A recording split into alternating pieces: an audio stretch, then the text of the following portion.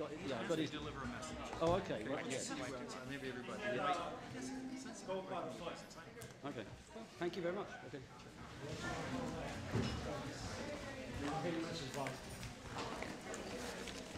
There's a chamber of commerce for gays and lesbians. Oh, I didn't know that. That's interesting. Okay. about six years old. Yeah, uh, I used to have a lot more to do with Chamber of Commerce in our town, but I don't. Uh, Columbia, Maryland.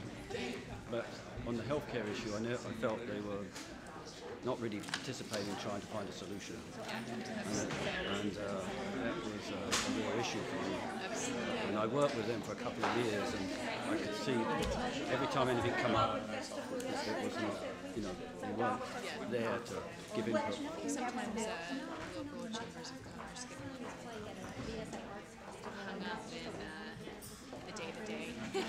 rather than you know, raising their thinking up to the.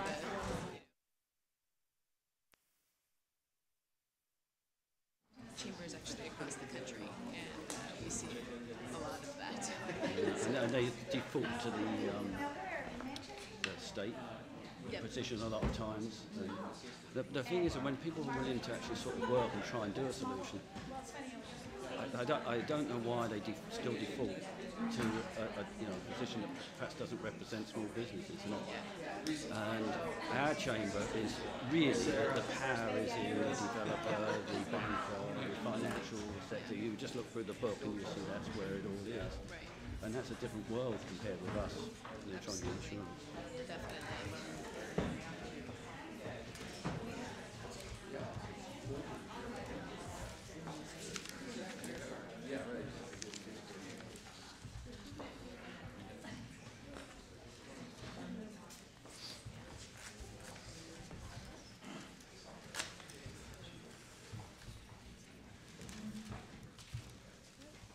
We want to welcome everybody.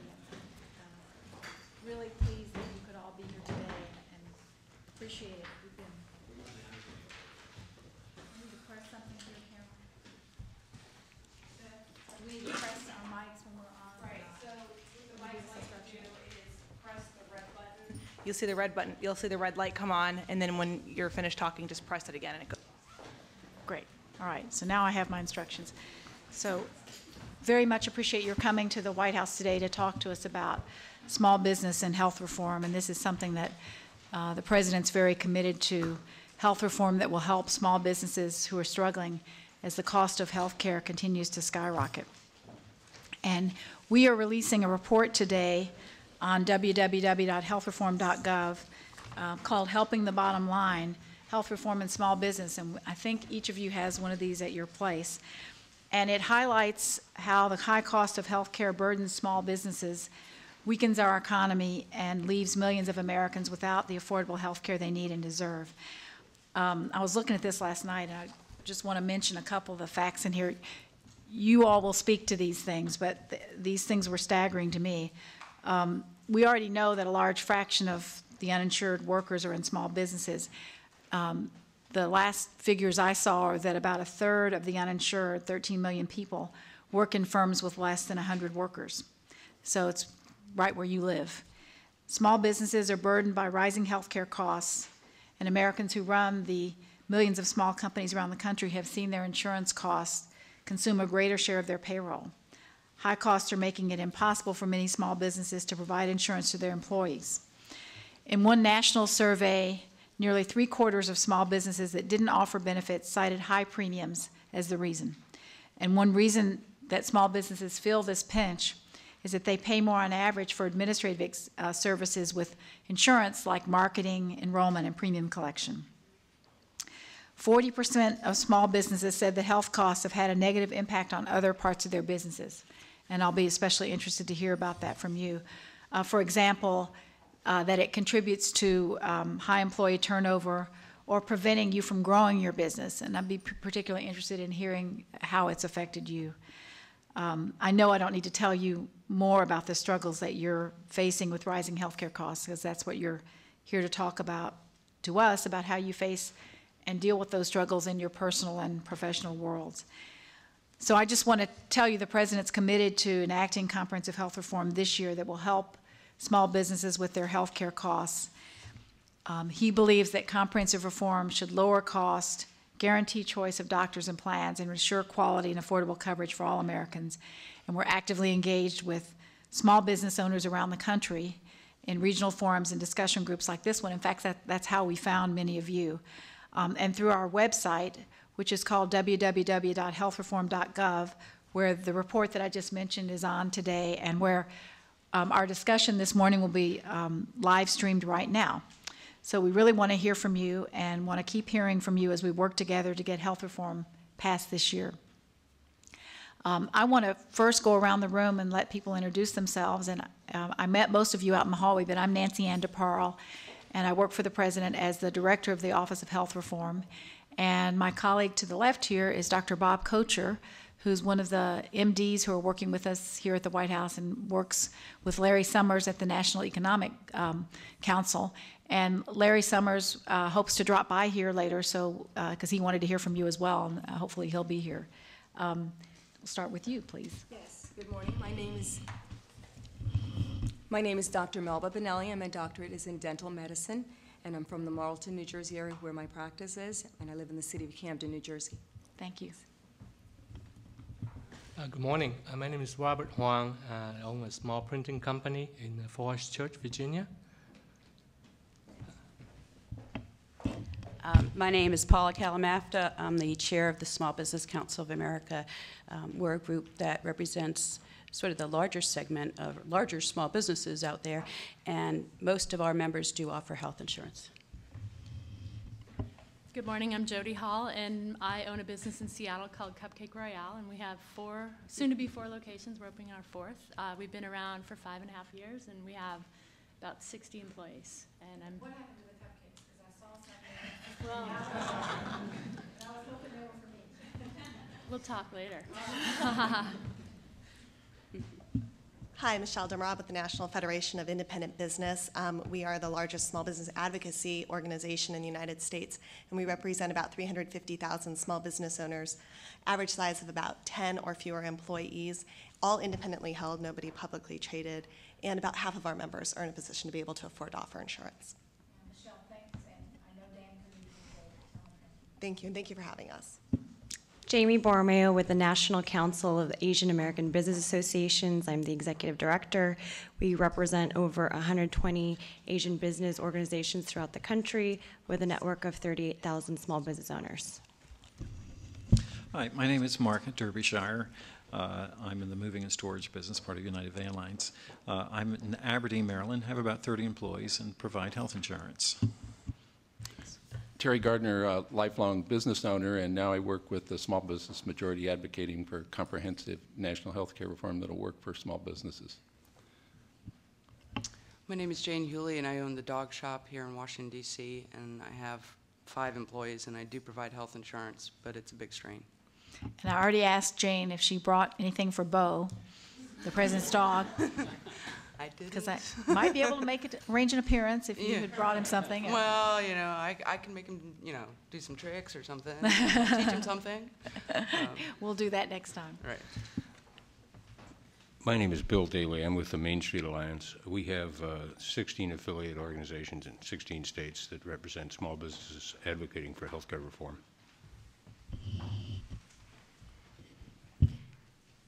I'm Louise Hardaway, and I'm from Nashville, Tennessee. Great. And uh, glad to meet uh, another Tennessean, Nancy. Um, I actually work in the hemophilia home care business and am currently not owning my own small business because I was forced into working for a larger employer in order to have health care coverage.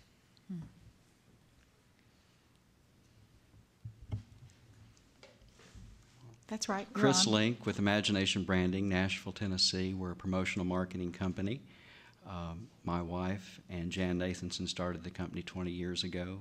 Three women, and uh, had the good fortune of being hired in by the boss. And uh, you'll hear from her shortly.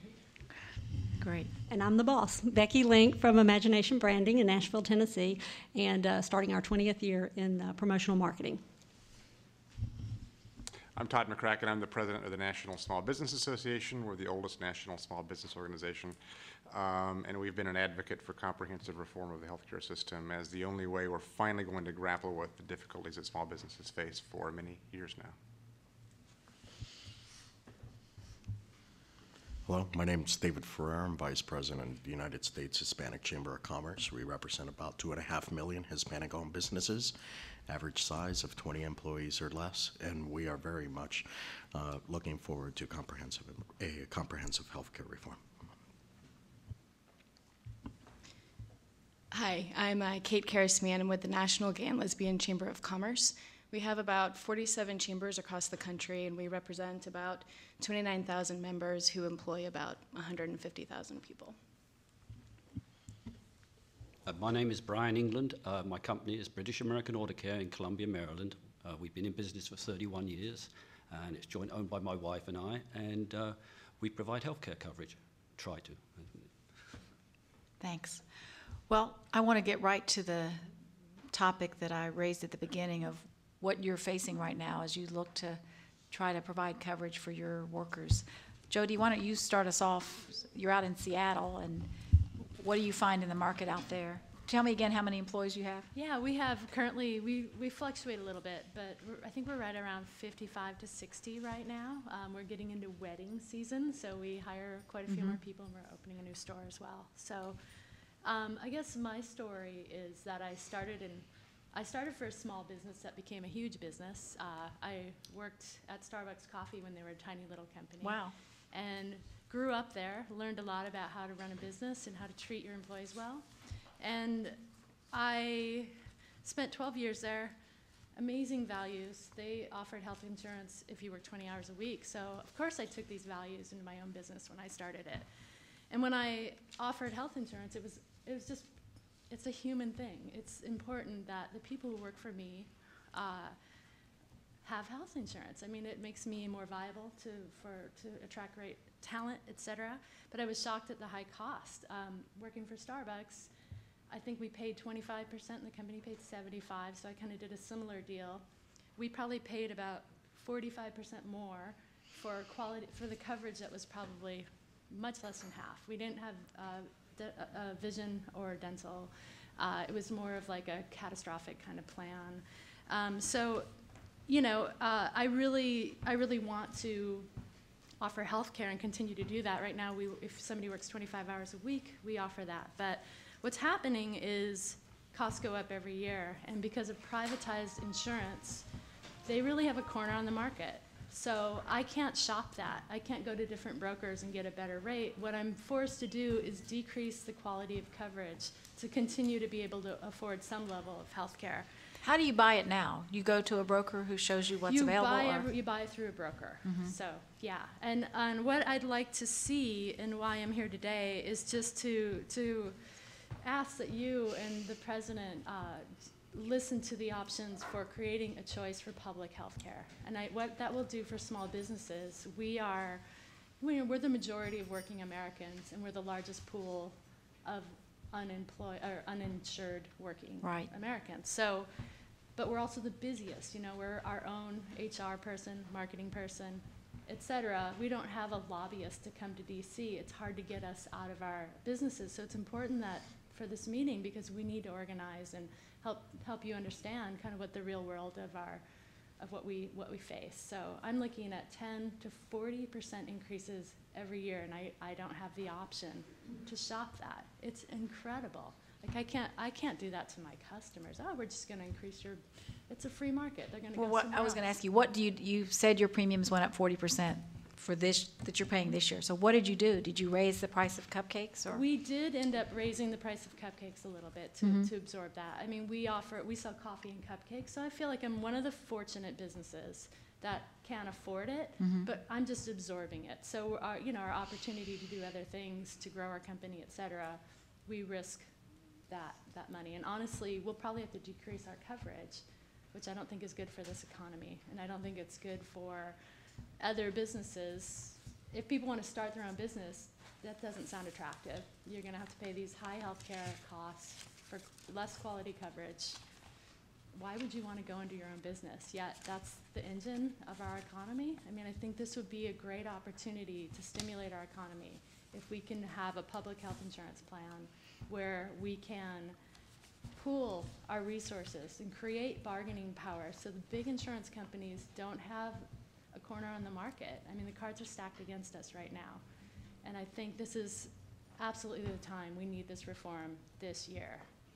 Well, thanks for coming on our website. That's how we, we met you, was you came on the website and gave us some of your story. All It's right, helpful to you. hear. Yeah, it's an honor Helpful to to be hear. Um, Paula, you're from nearby, and I met you at the Chamber of Commerce last week, so can you give your perspective? What a great memory you have. I figure you may meet a couple of people a week, huh? Um, we have a totally different perspective than you, Jody. Um, and I guess our perspective is that the system is not working as well as it should be, for sure, but does not need to be destroyed in, other, in, a- in order to fix it. So um, I think one of the things that our group comes up with that I think shocks a lot of people is that we happen to think the U.S. healthcare system is an amazing system. It's our number one industry, and we should be helping that industry rather than sort of looking at it like it's bad somehow, because all the money in our healthcare system goes to Americans. All those healthcare workers, that's dollars staying at home. Um, we think that small business gets hit with a double whammy. Uh, one whammy is the cost shifting that takes place in the market. Um, if you look at a service and you say, okay, that service costs the, the doctor $100 to do, and everybody who's covered by Medicare pays $55 for that service, and maybe folks paid who are covered by Medicaid pay 45 cents for that, $45 for that service, and then the uninsured, probably only with catastrophic care, pay zero for that service. Um, you, you know that the medical system has to find that $40 that's out there that wasn't covered. So then you turn to large business, governmental entities, and small business, and you say, okay, you have to pick up that additional cost because Medicare is really not paying the true cost of that coverage. And what happens next is big business and governmental entities are pretty good at negotiating, and that leaves small business picking up this enormous cost shift. Um, So that's the 40% that Jody was talking about. Her premiums go up Exactly. because of that. Her Yeah. little business is picking up that cost that other entities, and particularly Medicare would be the big gorilla, I would think, is not picking up. The second problem we have is that private insurance plans, when they look at a business like yours, God forbid one of your people is sick. Let's make it even more egregious. Let's say you've got 20 people and one of those people is really sick. Well, the insurance industry is going to say, well, we're going to you know, we don't like the risk we're dealing with in that small pool, and we don't like, we're going to experience rate you. And so, because of that, we're going to charge you more. And even if everyone's healthy in your business, you're still such a little pool that any, any, any business would say, this is just higher risk than covering, um, you know, a great big company. Well, uh, Senator Kerry, if you go all the way back to the time he was running for president, had come up with this idea of larger risk pools. And that idea is actually, in my opinion, one of the major answers for small business. It doesn't require you to go to a public plan, which I think, I mean, I think, I don't want to argue it, but I think some people could say that Medicare being funded at the levels that it's being funded at is actually destroying the private insurance system right now. Um, but if you switch to another public plan, I think you have the potential to just kill this amazing healthcare system we have. I think we need to change the rules so that small business we're able to go into big risk pools, so we're treated the same way as a larger business. And we would actually advocate some kind of federal healthcare reserve board or something that would set rules uh, for the private insurance companies. And it might be that one rule is you can't charge more than 100% of the lowest premium you're charging in your whole region. Um, I mean, it's, I mean, that's an idea. Um, and it might also say, okay, every private insurance company out there, you're going to have to pick up a catastrophic cost to X dollars. But over that, the government's going to fund a special pool for the hugely catastrophic um, kinds of problems. And so we think there's ways of fixing the system without making a leap into the public health care plan, which could have the potential to really hurt the system. And Paula, tell me again, how many small businesses do you have in your organization? Um, we have about 20,000 members. Great, great. Um, has anyone else here had uh, experience like the one that Jody was talking about, or actually Paula referenced, where you had someone in your bit in your employment get sick, and then that caused your rates to go up? Is that an experience anybody's had? Chris? We've had a situation uh, close to that in that we had uh, a couple of employees have some significant health issues last year, and it diminished our ability to consider other options. Uh, looking to shop the plan, suddenly we had a group that wasn't very marketable. Hmm.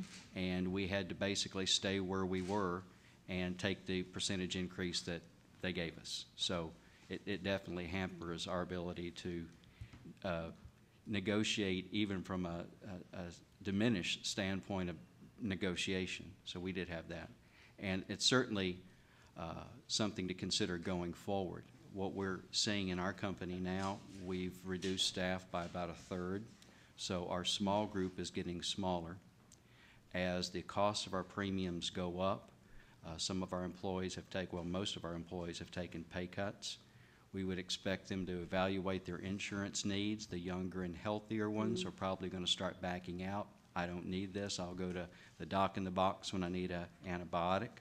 Mm-hmm. Mhm. And then what we're going to be left with in our small pool is the older group, the ones that have to have insurance, these folks that I just mentioned that uh, have some significant health needs. So we're back to where we were when we started with a smaller group, not very attractive to an insurance provider. So you were up to, you had fif- 50 employees, I think you mentioned at one 52, point. yes, ma'am, uh-huh. And now you're down to what? down to 33. And uh, indefinitely, because of that situation, we're uh, very excited about seeing something done right away. We think that uh, the healthcare situation is definitely going to affect us.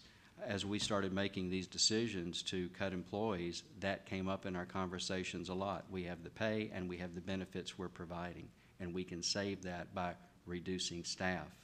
And as things turn around, we're going to be looking at the additional cost of providing the benefits because we believe, like Jody, we want to provide health insurance. We feel like that's something that folks need. Uh, we've been in business, as Becky said, for 20 years. We're like a family. We've worked with these folks, we've helped raise their children, and to suddenly pull that benefit off the table and say, we're just not going to do it anymore is just not morally for us the correct thing to do. When the company started, we wanted as Jody said, we wanted a place where people wanted to be. In a small business, that's what you have to have. They're, they're your lifeblood, uh, those workers that come in every day and work shoulder to shoulder with you. And uh, to, to not provide that benefit really is not very attractive to us at all. But it, it is very difficult at this point to do it. Todd?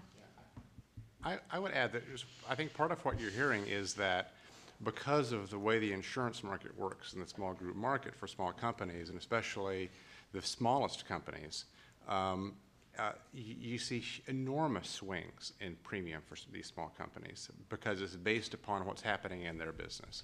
Um, for instance, we're, we're, while we may be a nonprofit association, we're also a small business that provides insurance for employees. So I see, I see this uh, on that side as well.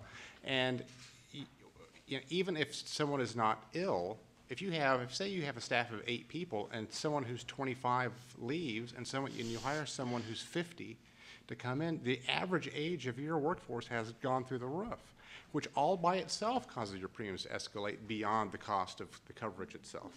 Um, so. uh, So you have to think so- twice about hiring someone Right. who's if- older. Even if nobody's sick. So there is Right, this right. thing where you have, always have in the back of your mind as a small business person, you know, you know, how are the people who are working for me, uh, they're, you know, the people who are their family members if you provide family coverage? Um, so we've got to get to a point where we're closer to true community rating, where the insurance companies don't have the ability to, um, to underwrite and to rate people closely based upon age and illness. Um, and of course, that means we've got to get everybody in the system because we Right, can't expect insurance companies to do that otherwise. So uh, that's essentially why we're for a universal coverage system. Um, and uh, So, I mean, we see it in the association world, we see it in small businesses all the time. When you really look at the average premium increase of small companies overall, it's only a little bit higher than for big business. But big business has the advantage, if you can call it that, of seeing a fairly steady 10, 12, 14% rate increase year after year, whereas small business sees 7%, 38%. It's totally unpredictable, and that also means that a new business who's starting up is going to say, I'm not sure if I can continue to afford insurance, so maybe it's better off if I can find a way not to offer it to start with. Because it's a whole lot easier to find people who maybe have some other access to coverage to come work for you than to tell people after a year or two, guess what, I can't afford this anymore. So it does create this dynamic that really undermines the employer-based healthcare system. It's not really what you want entrepreneurs to be thinking about, No, not at all. with how they're going to do that. Uh, Louise? Um, I work in an, in an industry, the hemophilia home care industry, that is, that works with catastrophic healthcare costs. Um, the average cost to treat the disease is about three hundred thousand a year. If you have complications of an inhibitor, it can go up to in the millions per year. So it's just a catastrophic, unbelievable cost. Because I work for a company that provides service to those people, there are also some persons with hemophilia who work with my company. And because of that, uh, we have this very, a fairly small pool and these very high-risk people in it. And so that makes the healthcare premiums just go through the roof. And even though I'm relatively healthy, even though I am over 50, um, I, you know, my cost is about 20, for my employer is about $2,100 a month to cover my family. That's a pretty high insurance premium. I mean, you know, it, it's, it's doable for me, but it, it is, it is expensive. Um, so the, the whole issue of the people with catastrophic costs, the reason that I think we need a public plan option is, and, and I agree with what you said, is that way we can have a larger pool of people and those persons with these catastrophic costs can, you know, it can even out and they're not going, what, what often happens with persons in that community that work for a small business, and I see this, I see the small business owner side of it, but they find themselves out of a job. Now, I know that's not legal, it's not moral, and, you know, good people wouldn't do that, but, but sometimes for the survival of the business, you know, they find a way to get rid of uh, that person with those catastrophic costs. So discrimination in the marketplace as far as holding on to jobs with employers is just rampant in, in that community. So that's a whole nother issue, but. It is, and, But and Paula pointed out earlier, it's a little, it's probably a little bit short-sighted. I mean, this is, this isn't the kind of system we should have, but when that happens, those people who lost their job are still going to get sick and end up in the emergency room. And somebody has to pay that, and guess who that is? We all pay it. Right, because, We're all paying because it. the cost, cost is shifted, correct? Right, right. Mhm. Jane? I have a very small company and I got health insurance because I believe it's the moral thing to do. Um, I have an employee who needs $1,500 worth of prescription meds every month. And she can't pay that, you know? And so we got health insurance and we're paying through the nose for it. But it's the only way she's going to make it.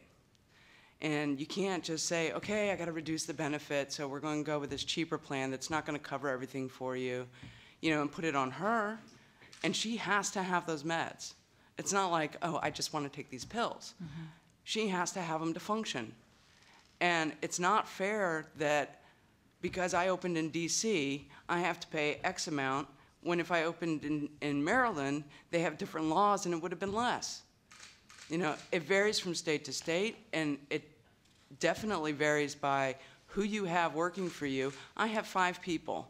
You know, out of them, I'm the healthiest. You know, and so I may have reduced our rate a little bit, but I'm not exactly a spring chicken, and they're probably looking at me like, "Oh yeah, sure, you're not you're not unhealthy now, but give you a year." You know, I had an employee go into the hospital just after getting the insurance. Thank God she had it. Next year, my insurance is probably going to double because of it. And I don't know how I'm going to pay for that. I can't hire another person because I'm already paying a salary and health insurance premiums. So, yeah, I could use another person. I could give somebody a job. I could give somebody a great job, but I can't afford it because I'm already paying it. So, David, do you have a comment from the perspective of the Hispanic Chamber? Obviously, we all share in the same concerns. Uh, In many cases, in the small group and non-group insurance markets, we're a captured audience. Um, There's, eh, whether adverse selection, the administrative costs that just simply drive a disbalance in the pricing and the rate of premium growth for small businesses, and especially for the self-employed also. Um, eh, Anybody that's bought in the non-group market lately will, will, I, I haven't met anybody that has a good story to say. Uh, But, um, I've met, I'll tell one after this. I've met one person, I want to ask that, a question about that, but I, I hear you. Um, So, and somebody, somebody earlier mentioned risk shifting, for instance, is one of the things Mhm. that we, everybody's been working on. I know a lot of our members that, uh, that provide care have been moving towards HDHP, HSA type uh, deals, a- trying to lower the cost. But there's, there's only so far you can use that to lower the costs. At some point, you have to talk about what can you do to take care of those inefficiencies uh, that drive up the costs in the non-group and small group markets, and that's why we think that pooling is a great idea.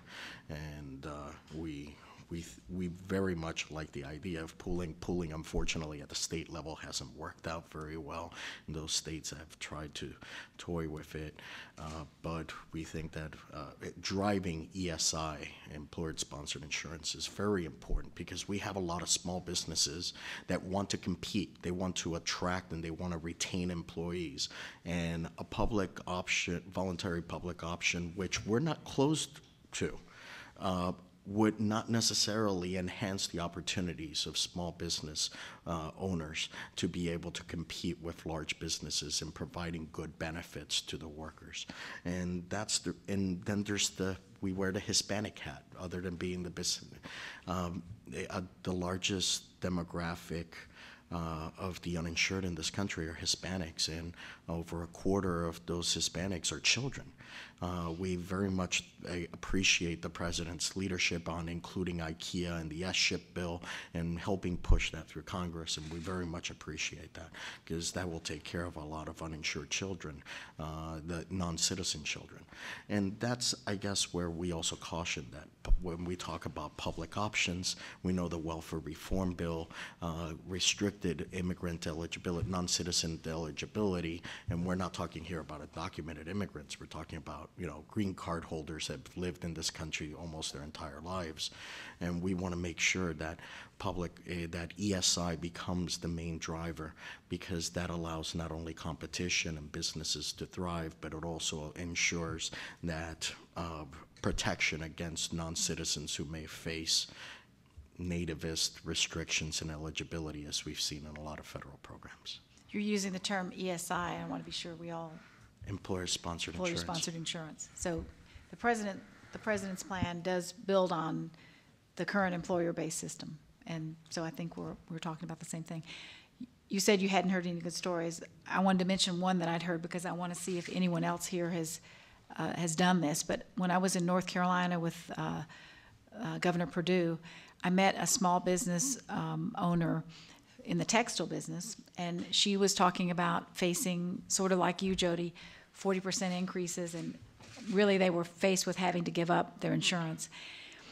And she said they decided to fight, and what they did was uh, they in, instituted wellness and prevention programs that were pretty aggressive, where people um, needed to walk and do various things to reduce their premiums. And she said they were able to hold it flat for a year by doing that. Now that's a, it's a year-to-year proposition. It's not a not a silver bullet, but they were able to do that. I just wondered if anyone else here has any experience with in your market with those kind of plans being available where you can lower your costs. Is anyone? Yeah, Brian. Well, in um, Howard County, they've come out with, they've got a Healthy Howard program, and they've just sort of beta testing a program where employers will be able to have a gold, silver, or bronze certification for healthiness. Now, yesterday morning, just by coincidence, I met with the broke insurance broker, and he wa he's in the Chamber of Commerce. He hadn't heard about this program, but they're going to be sponsoring it, evidently. But the, um, one of the things he talked to me about was what we're going to do this year.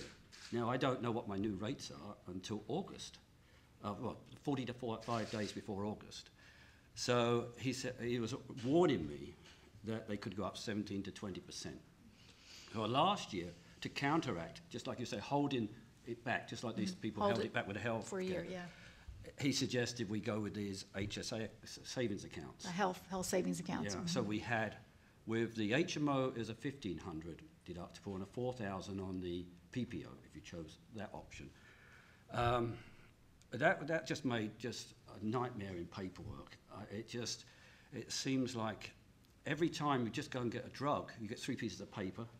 Um, they have a website and it's got a one-line item, but then but the, all the stuff comes in the mail. Then it tells you what they're going to cover, what they're not going to cover, and then of course finding out what actually goes towards your deductible is confusing as well. And I took in the folder to show him.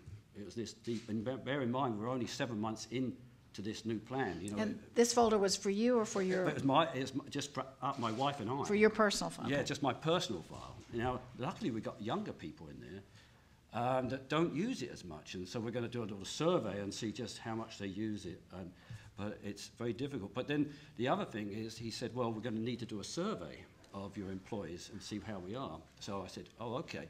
He says, "Have- have any old people, older people left? And I said, well, yeah, yeah, one person did. They moved on to a different job. He said, oh, that's good. I mean, this is, because this is going to bring it down. But, you know, he's offering, you know, but, but what do we do this year? What do we do this year to, to keep the premiums down? I, I, I don't know. I'm, I'm just wondering. He says, well, maybe one of the other companies is going to be helping us uh, by being, coming into the market and being more competitive, and maybe that bring it down. I, I- you know, I just wonder what the next thing I've got to do. Now, the healthy had one is a good idea. I mean, here we got, you know, this, maybe the insurance company will embrace that and say, this is a great thing to do, we'll drop your rates. But that's only going to be one time. Right. It's not, and unless, of course, if we go to gold and we go to, you know, if we work our way up, maybe they're going to offer us really big discounts for having healthy uh, employees. And remind me how many employees you have? We have 20 and uh, 12, 12 are on the healthcare. Now, the, now, just to bear in mind, I employ auto technicians that have quite high salaries. So just because one person we provide healthcare for, you still got to compensate the money for that other person because it's so much money that giving someone healthcare is works out so many dollars an hour more. So you can't have a preference. So what we did a few years ago in another effort to bring down our costs was we let people opt out for a certain price and they opted out and picked their um, spouse's plan or some Mhm. other or firefighter's plan or whatever it was. But we're still paying that money in the form of extra wages. Nancy, and we have a completely different, um, we're sort of a success story on the wellness plan. Oh, good. Um, and we worked with a company that I think it started out in South Africa, and they've really got their act together on wellness.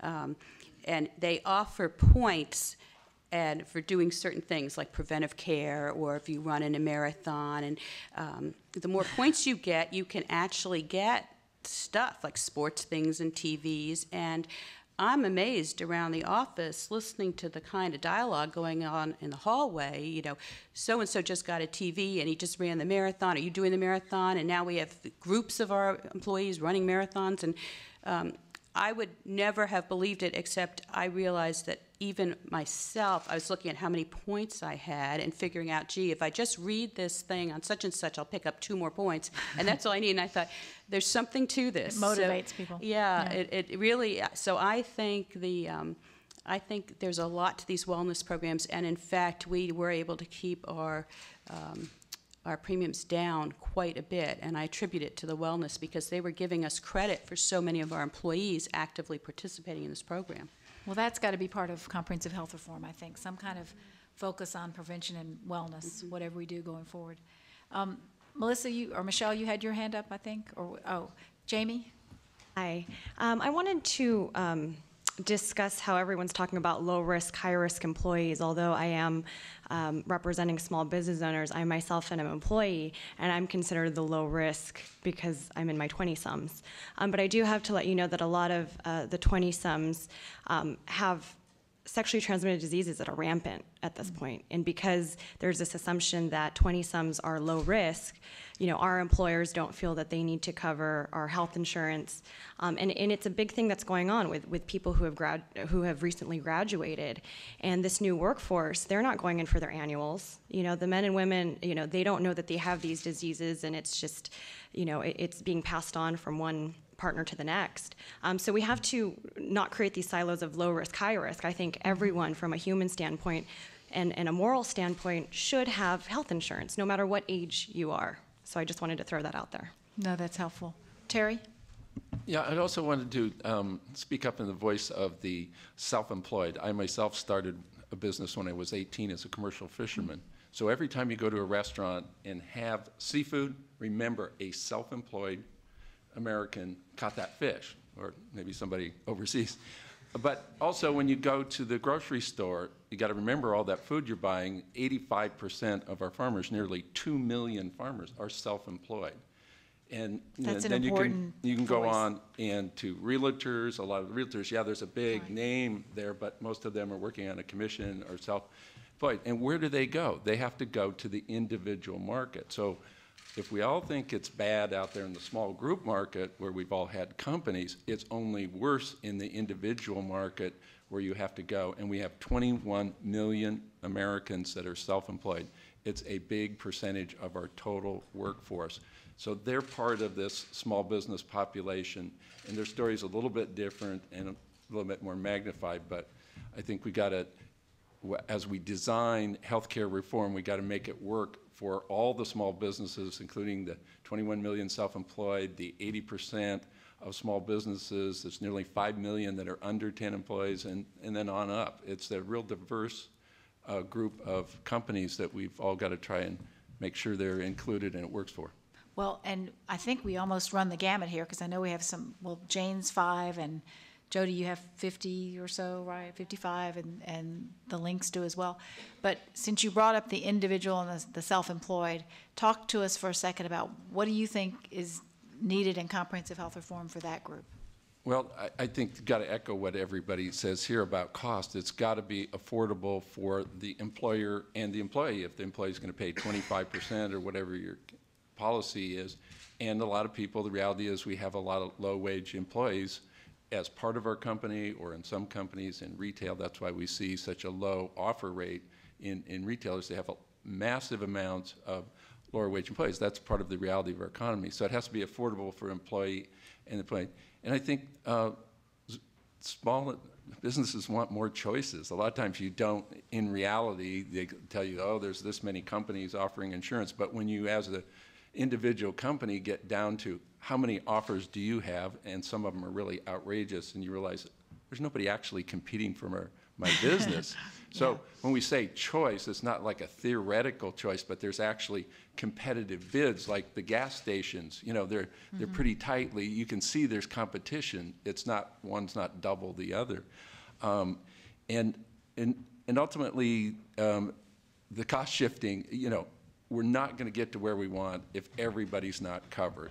So there can't be a small business solution ultimately and stop all this expensive cost shifting if we don't have um, everyone covered. I think, and that's why you know, we advocate it's got to be comprehensive. That you can't just take on one piece, the cost piece, or the uh, you know have more offerings. So it's got to go together and be comprehensive. Tell me a little bit more about your group, by the way, the Small Business Majority. How long has it been around, and We're, we're a new group, and uh, we're an advocacy group. We're not a membership group. We've done a lot of uh, public opinion polls, two national polls, eight state polls of all the universe of small businesses um, out there to gauge what kinds of alternatives they would support. And I think the major finding out there is that small businesses are real bottom line oriented. They want a solution. That's what they really want. They're expecting the leadership that is elected is the presidency and the Congress to figure it out, do something that provides them affordable options that they can. And they're pretty flexible on what it is. They want a solution more than they want to hear a battle about the ideology of, of what the solutions are. Thanks. Mark, um, Terry made a comment about, you know, some people work for big companies, and you, your, your company, are you a franchiser, franchisee? Okay, and, and it's a, It's it moving and storage, is that what you Moving- said? Moving storage, part of United Van Lines, but it's not franchised. Great, and how many employees do you have? I have? about 30. So, uh, how long have you been around, and what's been your experience? Well, it's, here? we've been around for a long time. It's a family business. My dad started in 1956, and we always had health insurance. And it used to be just a very small expense, and now it's a very large expense.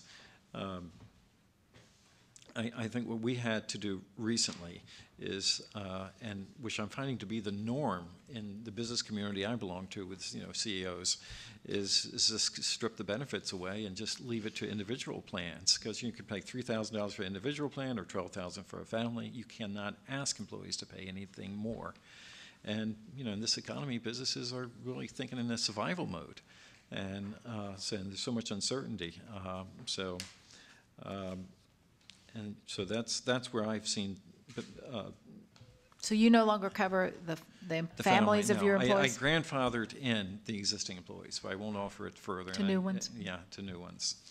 Um, I think the other point, uh, if you wouldn't, if I'd like to make, uh, um, is, I think it was already brought up, is the hidden cost and the premiums, uh, the all-payer type system where, you know, the uninsured go into a hospital and um, the premium, uh, the, the cost is passed on to the insurance company, which goes on to the premiums to, to the ones that provide it. So, you know, it's the small businesses holding the bag, and the bag's getting heavier and heavier because, you know, more companies are dropping it. So it's this vicious cycle that, you know, it's just ready, you know, this bag is ready to burst. But, uh, uh, but, but um, that's, you know, so therefore what I advocate to a large degree is the shared responsibility that, you know, companies, you know, somehow, some way, all participate in healthcare.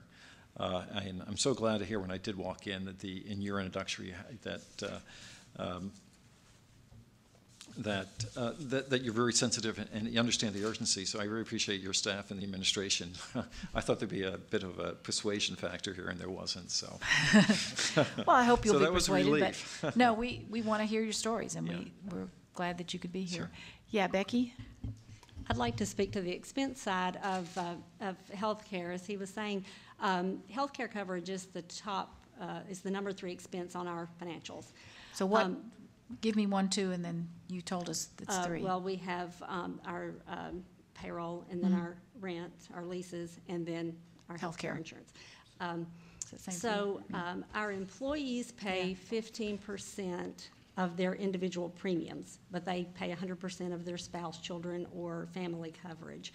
But what was interesting when I was preparing the budget for this fiscal year, and uh, it got to the bottom line, the number, the loss that was there was identical to the number that the expense of healthcare was going to be for that year. So I could have said, you know, no healthcare, and we would have, we could have a break-even budget. But we had to look at other things. We had to lay off some people. We had to uh, cut everybody's salaries. We did away with our 401K match. We did away with any other employee recognition programs. So, you know, it changed the culture of our company quite a bit. A lot of the employee benefit side of it Mhm. because of a lot of the cuts that we had to make. And as Chris said, with uh, being in business for 20 years, and a lot of the people who work for us have been with us a long time, um, the effect, I think the emotional effect it had on them to see their coworkers leaving and everybody getting pay cuts, it's been tough. Is that the first time you've had to do that? Um, we had, uh, Two after 9/11. Yeah. And that slowdown. Other Two than that- people, yeah. Mhm. Does it feel like you're going backwards? Sort of, I mean, you've built this up and you must be very proud, but it's a very tough situation. Yeah, Michelle? Um, I just wanted to comment on what Becky and then I saw Jody nodding her head said. And you know, your number one cost is payroll, your number two cost is rent, and then there's your number three cost. And what we found in talking to our small business owners is that is the fastest growing and most unpredictable cost of doing business. You know what your rent's going to be, and you know what your payroll's going to be.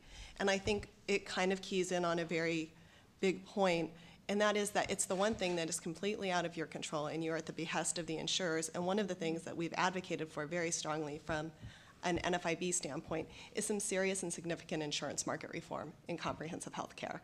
Um, that's something that I think we've worked on for a long time. But now that we're looking at comprehensive, I think this is a true opportunity to take a look at some of the things that we have done for the insurers over the years. You know, they've, they've been very successful in carving out the types of policies that allow them to keep a very good profit margin and, and to, in a lot of states, because there is such a significant amount of market concentration. There's only a few places you can go and a few carriers you can go to to buy your policies that now there's a significant amount of concentration and we don't have enough competition. And I think by coming up with a national set of rules, which is something that NFIB advocates for, some serious insurance rating rules that goes back and looks at how we get to some of that uniformity and taking health status out of the equation, you can get to some of that premium predictability that I think people are really looking for. We hear it from our small business owners all the time, and mm-hmm. every story that we've heard today is very similar to what we hear when we go out on the road and talk to our members. And you know, they're tired of not understanding why they get a 16% increase one year and they get a 36% increase the next year. And the only thing that they know is that somebody had a birthday and nobody got sick and nobody had a NICU baby and they just don't understand what's going on. And so So it should just, it could just be the aging of their workforce it could be the aging of their workforce. And you know, it's like Todd said, if, if you lose a 26-year-old employee and you hire a 52-year-old employee, you've really changed the cosmetic makeup of your workforce. And that has a huge impact on your premium. And so I think that a big part of this conversation has to be insurance market reform, not only in the small group market, but also in the individual group market, because for our members, about 10% of our members fall into the non-group market and they purchase there. And, you know, it's a very, it's the most broken market, but then the rest of our members purchase in small group. And, you know, it's broken and there's 50 different sets of rules and there's no uniformity and there isn't a great amount of um, motivation on the part of the insurers to do anything to make it easier because they know that they only have so much that they can negotiate on with the large employers because they're afraid of losing that, that business. You know, it's hard to lose 2,000 employee business. It's easier to lose 20 if they have to go shop somewhere else. And then you have the non-group, and in the small group market is where a lot of insurers are making the vast majority of their profit. And you know, we aren't supposed to be insulating them so that they can make a profit. They're supposed to be delivering on quality and value. And so I think we need market reform rules that really suggest that motivation on their part. Can you say more about the market reform rules that you'd suggest for the small group and individual markets? Well, I think that you do need individual and national, uh, individual and small group market reform rules. And you know, when we think about it at NFIB, we think about it in the context of a connector exchange type setting. So, for instance, for instance, if you're going to have something like a connector exchange, then you should be able to allow You might, Marie, you might explain that a little bit, because people have been talking about pooling, but this is related. I So think if you could pooling, explain you it. know, I mean, I think everybody knows, this is such an arcane analogy, but it's the one that I find everybody can visualize. So you can buy one soda at a time, or you can buy a case of sodas. So you can pay 75 cents, or you can pay, you know, 360, just for the sake of math. And um, the idea that if you buy 360, that that's a case, or, you know, 24 employees coming together with their, em- the 24 employers with their employees coming together, they get a much better deal. There's a lot more people, there's a better ability to spread risk, and you have better bargaining power, and all of those things, in our mind, lead to more competition. So in a connector exchange type approach, what you're doing is you're allowing individuals who currently buy outside in the non-group market and small employers who buy in the fully insured market, which is the state by state by state products that you all buy unless, you know, you guys are suddenly self-insuring or something. Um, and it gives you the ability to go in there and get a better price. And in our mind, in a connector exchange, you would have a set of market rules that provide some set of consistency. Right now, if you want to offer a plan in Wisconsin, you follow one set of requirements. If you want to offer a plan in Arizona, you follow a different set of requirements. And I'm only going to guess that in Tennessee, maybe you have somebody that's, you know, from Kentucky or maybe somebody who works someplace else, and you have to really go to a huge effort in order to be able to find a plan that works in both states. Right, we actually have um, employees in six different states. We Oh, have wow. three offices, but we also have sales reps, uh, you know, out in the field in other states. So we have to consider many different states to cover. And in our mind, we just think that having those national market reform rules, whether it's, you know, taking health status out of the equation. So um, no pre-existing No condition pre-existing exclusions. conditions, because especially for our members, you know, we tend to be, our members tend to be older. They tend to come into owning a, a business independently, a small business, after they've had another career. And so, um, we do think that taking age and health, well, you have to be able to rate appropriately and, and give appropriate faction to age, but at the same time, you cannot exclude people simply because they've gotten sick. And so I think those kinds of things and taking geography and other factors into, into account. I think one of the other things you have to be able to do for small businesses is, is really look at how they rate small businesses from an insurer perspective versus how they rate larger businesses. And it's really easy to go into the class of business and start dicing up and dissecting so that you can apply a certain segment of the premium increase to them. And I think that we've got to get away from that practice because I think it's abusive and especially bad for small businesses and non-group. We need you negotiating for us. Bill, did you have a comment? Yeah, Well, I wanted to raise an aspect that hasn't been talked about much here, and that's those small businesses that don't provide any insurance at all. Uh, We have uh, a, a, a number of our members, I- I'm pleased to see you quoting our, uh, our- our report in, in, in your uh, analysis this morning.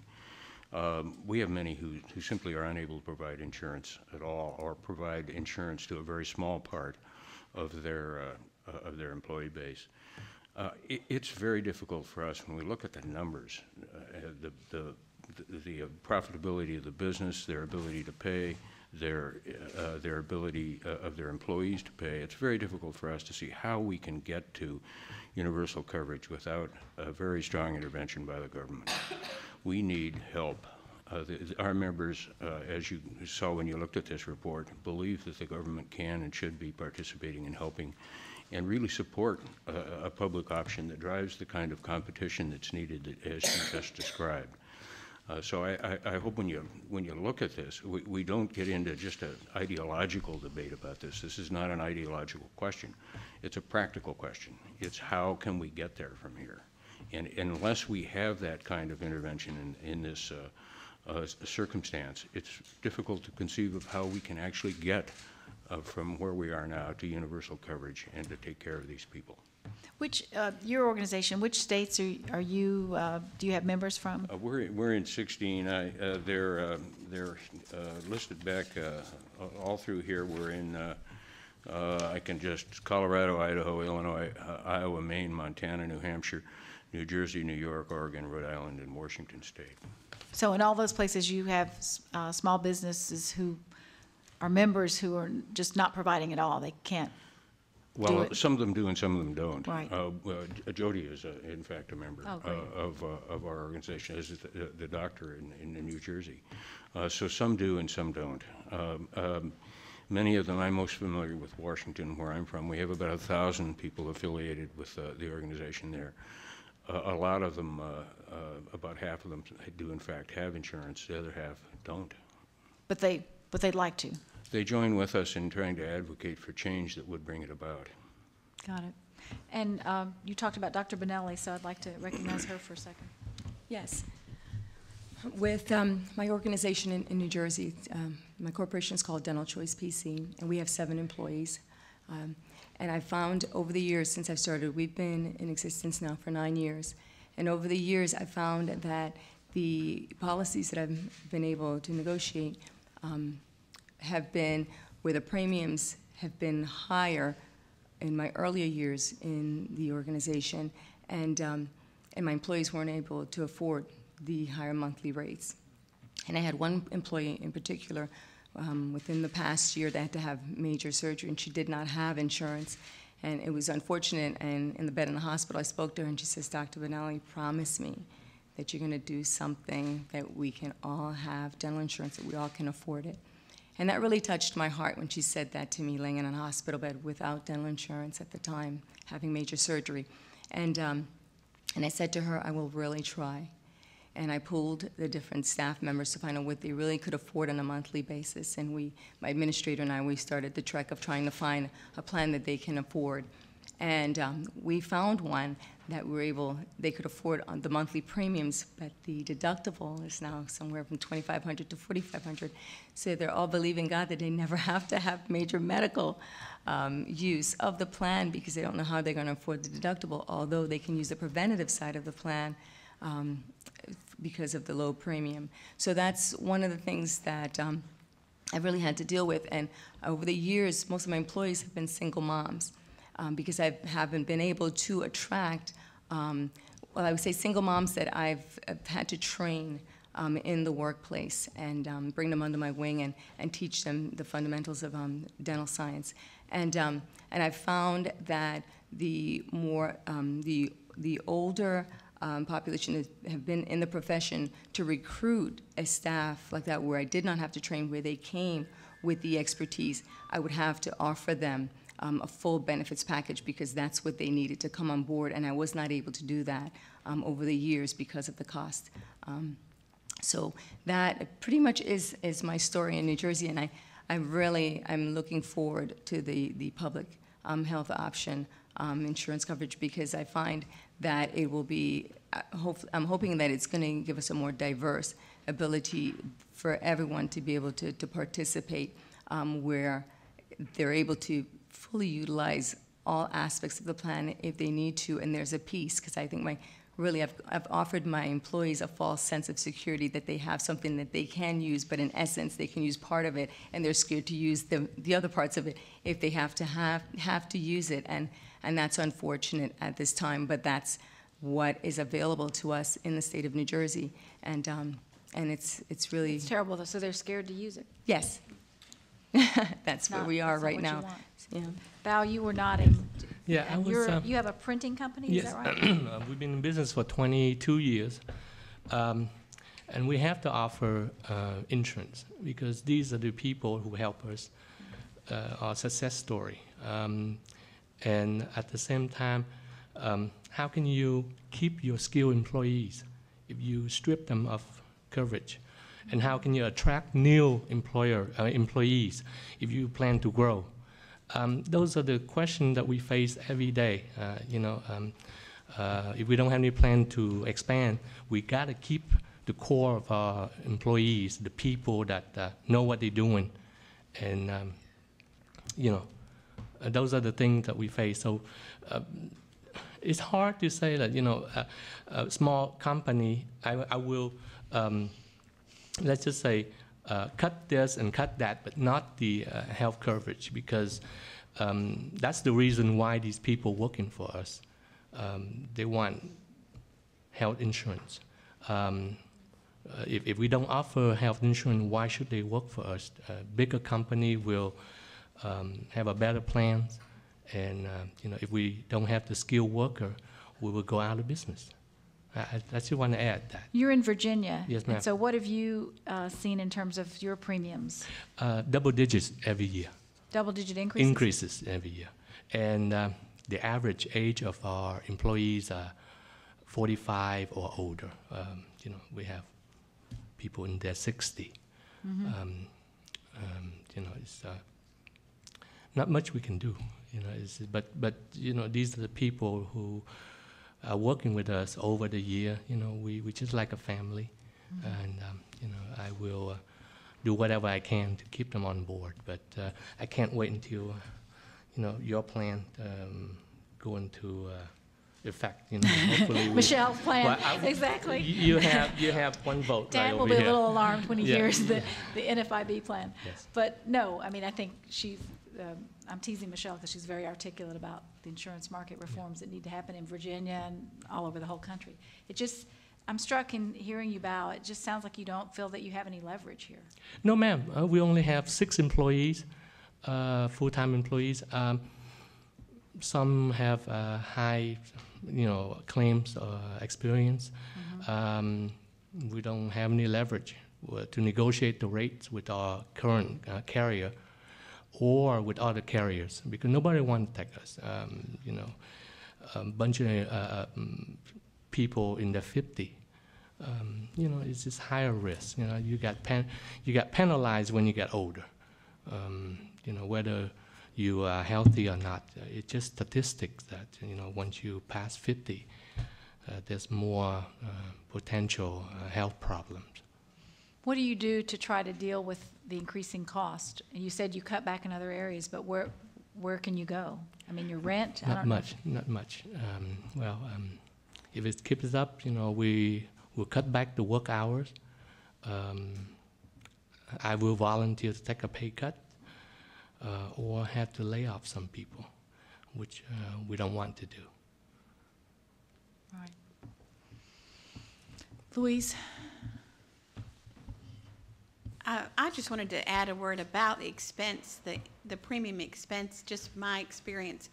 And the reason that um, I'm not a small business owner today, but working for an employer, is uh, last year, I- like I said, I've, I've worked in this industry for more than 20 years, but last year had an opportunity to set it up as my own business with a partner. And when we sought out health insurance and worked with a broker, the quote that we received from a major carrier uh, was $13,000 a month. That was the premium cost, and that was to cover two employees and our families. So it was family coverage for two employees. When I got that quote, I just thought to myself, this shouldn't be legal. They shouldn't even be allowed to offer that kind of a quote. It's the same as a denial, but it's not really a denial. so you can't become an uninsurable and get into any kind of program for, you know, for someone who is an uninsurable if you have those options in your state, you know, a high risk pool Right, or right. something. You can't go there because it wasn't a denial. But yet, those kind of costs are just astronomical, and there was no way that we could we could do this business because we had to have health care for ourselves and our families. My my husband is self-employed, so I've always carried our health care through all of our 30 years of marriage through my employer, and um, and the same with with my partner. So um, so we ended up just having to go back to the blackboard and became, actually were able to continue in business, but became employees of a larger company. And, you know, and are working um, in that way. So, so our dream of being able to have our own small business really was not possible because of healthcare costs. Chris, and then I want to get Kate in here. Just to follow up on that and what uh, Terry and Bill said a few minutes ago, we don't know a whole lot about the individual policy side, but we're about to find out if something isn't done, because that's where the small businesses are headed. We're not going to be able to carry it. Our folks are going to be left with that alternative, and owners of the company are going to have to go out and seek their own insurance. And I'm afraid our story is going to end up looking a lot like Louise's if we're not careful. The other thing that I wanted to mention, I've heard a few folks talk about HSAs. And while we're focused pretty much on the premium side, there's another dimension to it. We tried that option a couple of uh, years ago as an alternative to have a smaller percentage increase. We went to the high deductible plan. We made our deductibles the same. We set up the other part of the deductible paid by the company for an HSA, and we thought, okay, now we've got something. Then our folks went out and started using it and we went through that money very quickly. We were, uh, here, theretofore, we were using uh, co-pays, but when we had to start going and buying those services, going to the doctor's office, we were told they were discounted rates, but we had some sticker shock. And then folks started going to the pharmacy, and we started ripping through that money, and that was not an option for us. So cost containment on that side, buying the drugs they need, buying the services they need, even when they had their own account to do it. It didn't take very long until we depleted those, and we got away from that option. It was, uh, it was a a bureaucratic situation too. Folks never really understood quite how to make it work. There was a lot of continuing education that needed to be done. Uh, Folks did not defer in the money that we hoped they would to Hmm. keep the account balances up. Uh, Young folks took it as free and gave themselves a raise. That's what I would have done probably. Mhm. But uh, it just didn't work, and, and that was a, a serious problem for us. One other comment I'd like to make uh, in closing too on this. We ha- are, are delighted to be here and to tell our story. And we've been brought out i- i- into this debate. Uh, Frida Player from the Service Employees Union first contacted us, and we attended a, a group of small business uh, owners in Nashville and started sharing these stories. And it was really uh, encouraging. Uh, It it wasn't a lot of good news, but to know we had folks out there who were facing the same problems and trying to come up with solutions. And Lori Smith at the Tennessee Healthcare Campaign, she continued on. So I really appreciate the attention that we're getting. And I know a lot of the folks that are working with small businesses now are, are sort of coming to our rescue. I feel that we're being heard. We've got to have some help, and, and now's the time because with the economic situation that we're in, the problem that we had two years ago is three or four times as bad. Yeah, that's the sad thing. I want to introduce my colleague, Larry Summers, who's head of uh, the President's National Economic Council. Um, Larry, I really appreciate your coming, and he has been spending a lot of time working with our team here at the White House who are looking to try to move forward on health care this year for the president. And of course, has a has a special expertise in looking at our economic situation and how healthcare is making that worse, and how we need to do comprehensive health reform to make it better. Larry, do you want to say something, and then we'll continue to hear these stories. You press the, yeah. I suspect I know less about what's happening on the ground than anyone else in this room. But I'll say a thing or two from an aggregate point of view. I think we as a country can do much, much better than we are. 100,000 Americans die each year due to medical errors. Hypertension is something that's completely soluble. There was a study done at Harvard while I was there that found that of all the hypertension in the United States, only one in four cases was being properly controlled. And that down that down the road, that meant um, strokes, which would cause children not to know their grandparents.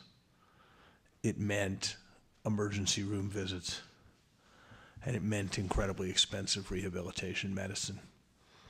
And that you could tell similar stories with respect to diabetes and a number of other conditions. It can't be right that the richest and best and most powerful and most innovative and most flexible economy in the world has infant mortality and health statistics where we're duking it out with Costa Rica to be in the world top 30. It just can't be right. And at the same time, small business, you all know better than I. But uh, first of all, there's never been a big business that didn't start as a small business. Second of all, if you look at where the jobs come from and where the majority of the job growth in our economy comes from, it's small business. If you look at where people get their start, it's heavily small business. And frankly, if you look at the economic interactions that touch people's lives, really touch their lives, it's not usually going to Walmart. And it involves a small business. So, in a real sense, you're the backbone of the nation's economy. And the system we've had hasn't worked well for you and the people who work with you. Too often it's created situations where people didn't get insurance. Too often it's created situations where taking care of one ill member of a business family existentially threatened a business's able ability to exist. Too often it's created a situation where you were rendered not competitive by the fact that you felt an obligation to provide health insurance and you couldn't get it in a reasonable uh, way. And that's been mirrored at the national level. You know, you can have uncontrolled and unsustained growth in healthcare costs. Maybe it shows up in the fact that businesses have to pay more and they can't compete in the world. And maybe it shows up as the competitiveness. Uh, maybe instead it shows up as lower wages for all the workers because they're able to push it down. And so we don't see incomes of middle class families grow.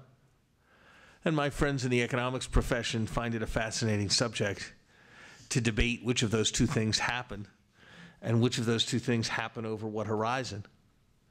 But it seems to me that it's really not that interesting a question because both are unacceptable. And that what we need to do is get on with the task of reforming uh, the healthcare system. There's only been uh,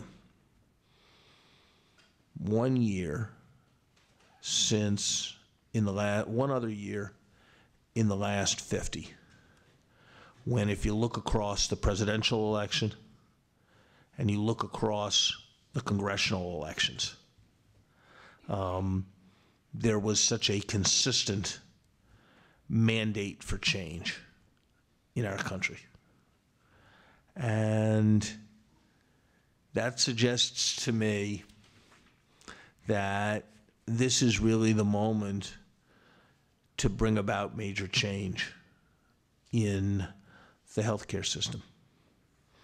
If you compare this moment to 1993, we've got a lot of things going for us. We've learned the lessons from a set of mistakes that were made in 1993. Healthcare, healthcare as a share of GNP is a quarter higher than it was in 1993. State models that work much better on both the cost and the access side have been developed that weren't present in 1993. A set of constituencies, whether it's private health insurers or other groups, who weren't at the table in 1993 are now at uh, the table. And so I think there's a really very good chance of doing this. And I think it's a moral issue for our children. But I also think it's a deeply practical issue at both the microeconomic level in terms of letting businesses survive, uh, businesses like yours. And let's not forget that the largest supplier of General Motors is Blue Cross of Michigan. So it is a business survival issue. And I would also suggest that it's a competitiveness and national economic strength issue. And that's why it's one I'm devoting a lot of my time to as head of the President's National Economic Council.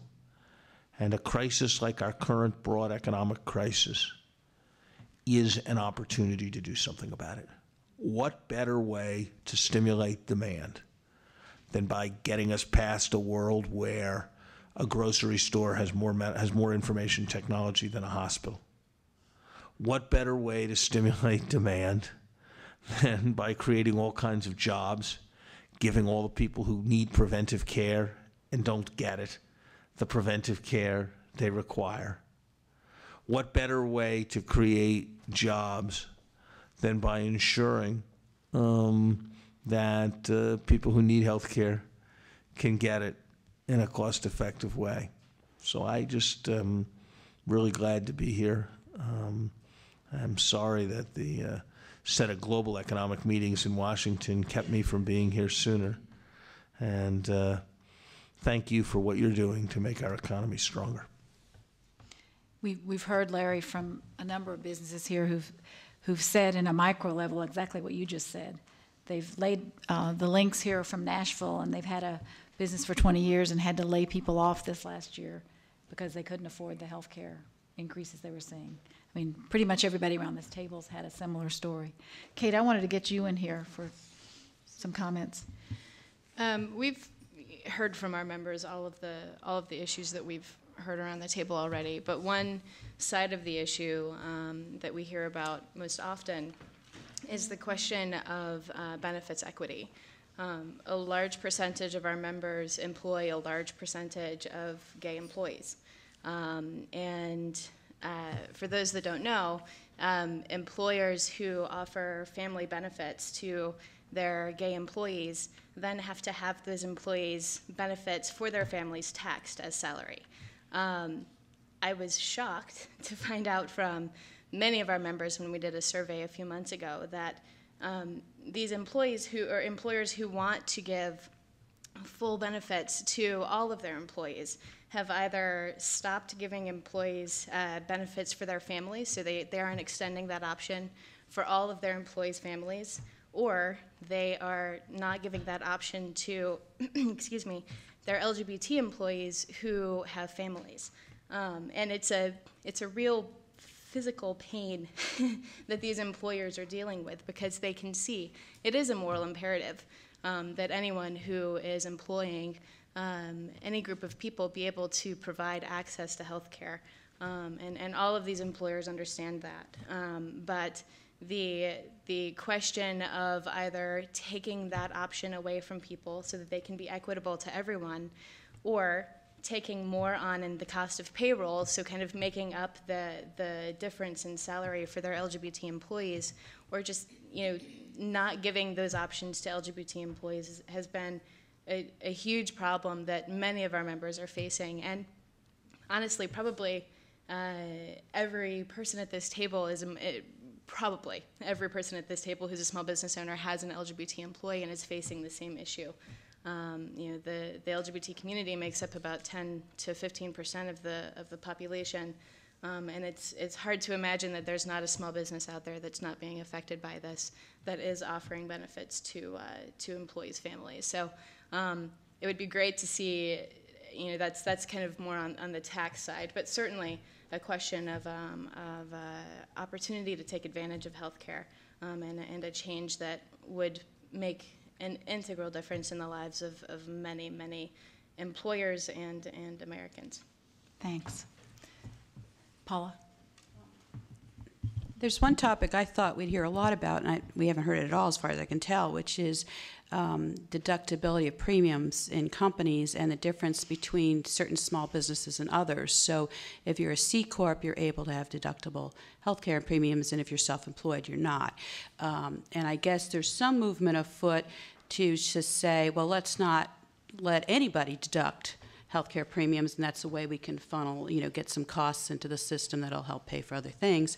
Um, I would suggest that if you took away deductibility of healthcare premiums in the small business market, you might end up with a whole lot less small business employees covered. I think that's a real incentive for coverage in that market. But I think there should be parity so that whatever kind of small business, whatever kind of entity they're running their business, they all should be able to deduct healthcare premiums. And, and just to clarify, I think what Paul's talking about is not income tax deductibility, but, but FICA tax. So people who are self-employed can't deduct their health, health insurance premiums against their self-employment tax. Right. Which, since they pay both sides, is 15.3%. And so we've seen that people can have premiums of more than $20,000 a year individually. So that's a $3,000 tax on self-employment tax that they pay that no other person working, getting health insurance has to pay. Got it. Yes, Brian. Yeah, and one of the things that's going to come up is the cost of this. And everybody talks about the cost, no, oh, we can't afford it. But as we've seen, the cost of doing nothing is far more. Already I see the cost of doing nothing over last year was 17 to 20%. So what's it going to be next year? So the, this has to happen. I, I don't see how we're going to manage when if it doesn't. So. Couldn't have said it better, Bill. Dr. Summers, and uh, your comments and, and some of the others, back to a question here. I would, I, one of our small businessmen testified to the House Ways and Means Committee the other day, endorsed a public option, and the ideological heat that came into the room was palpable. You know, it's a big room, and the temperature went up. Uh, I, I, just don't get it. Um, to, to, to us, this is a factual question. This is not an ideological discussion. How can we cut into the GDP if we cannot bring down those costs, uh, uh, or at least cut the, the growth rate of those costs? How can we bring these products to small businesses uh, in a market that has been unable to supply them?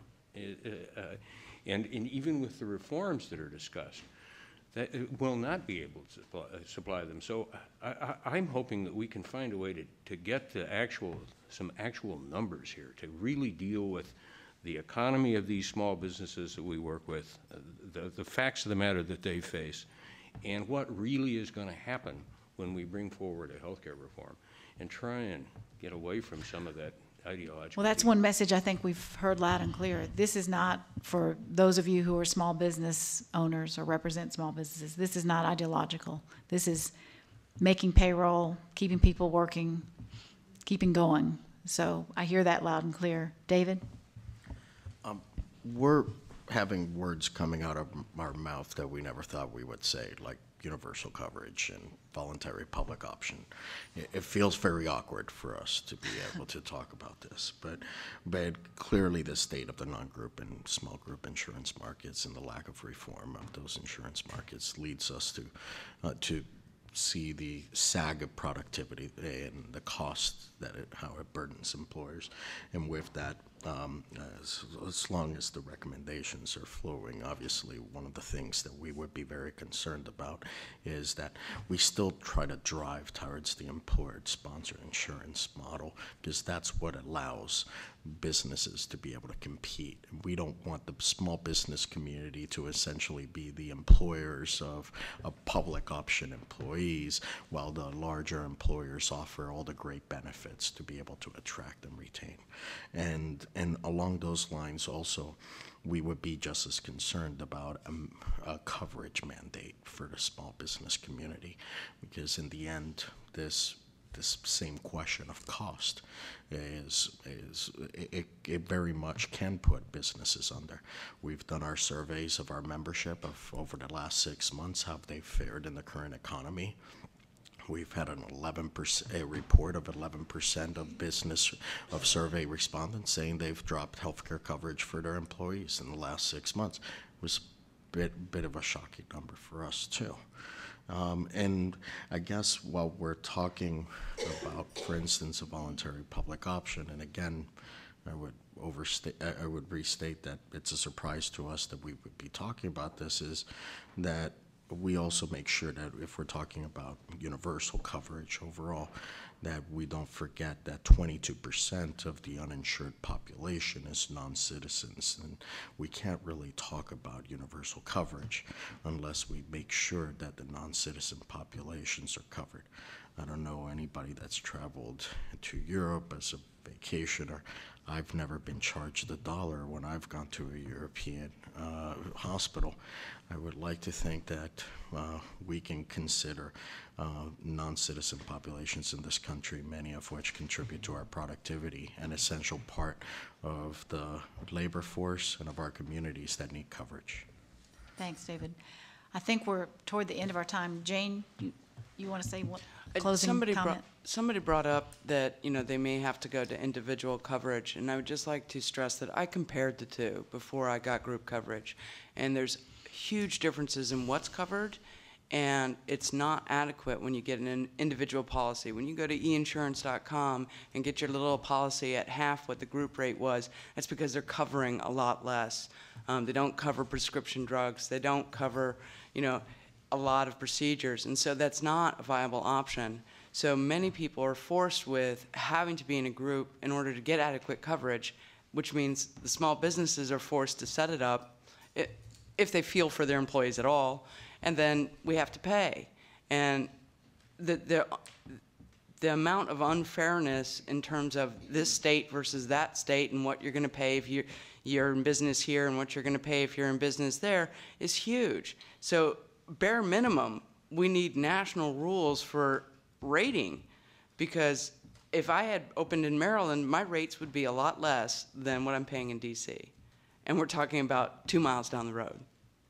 So there needs to be reform on all aspects in terms of how the insurance companies decide what to charge you and what they're basing that on. And it shouldn't just be because you happen to open up in this state and you happen to have unhealthy employees or your employee's workforce is over 50 because you specialize in senior dancing. You know, it shouldn't matter. And unfortunately, that's what we get dealt is this hand of, you know, these are your employees, and so now you're gonna, you're gonna have to pay. And it's a choice between hiring another person or not hiring another person. Am I gonna make it or am I not gonna make it? And it's very real. And it shouldn't be whether or not we should do this, but how are we're gonna do this. Yeah, I agree. Terry, I'm going to give you a last word, and then we're going to, I think, have to wrap up here. Um, one of the things I know everybody's looking at is an exchange or connector to pool small business. And I think it's very important that we keep in mind as we design that, that we're designing it to work for who is it? 21 million self-employed, 6 million small businesses, and 80% of them are under 10 employees. It's got to be real simple, real accessible to be practically available. We can also look to the fact that Japan set up a small business pool 30 years ago, and we know their healthcare costs are half of ours, and they have good outcomes, and they have a very robust small business sector. So we can see that this can work, but we've got to make sure we know who we're designing it for so that we get a lot of choices and competitions and not fall into maybe 50 state connectors because we got small states, we have rural areas where you aren't going to get the competition unless it's designed with all of our small businesses in mind. Thanks. I just want to thank everybody for coming here and for the work you're doing as small business owners and also for sharing your stories and being willing to spend the time helping us to understand what you're facing. And, you know, I'm left with a lot of, of um, stories from this. Mark, what you said about your family business having been around since your dad founded it 50 years ago and your, your feeling of shared responsibility and wanting to continue providing and yet the struggle that you're facing. And Jody, you started us off talking about your dream of your cupcake business, and you're now up to five stores, is that right? And four stores. But being unable to move forward and grow and get bigger in part because of the the obligation you feel and responsibility you feel to help your employees with health insurance and just unable to keep up with the rising costs. So um, that leaves me even more committed, and I know Larry had the same reaction to let's get this done this year. We really need your help. I hope you'll all hang in there and, and keep working at it and keep in touch with us as you continue to, to do what you're doing and provide health care and, and help us get this done this year. So thank you very much.